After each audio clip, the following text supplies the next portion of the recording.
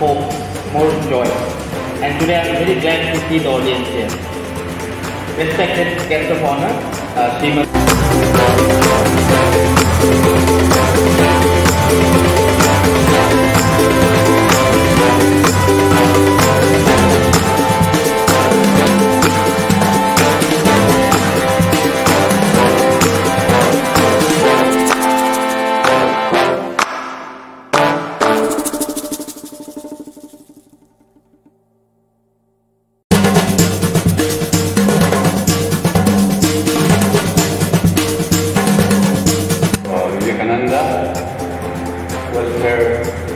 Foundation Secretary and all the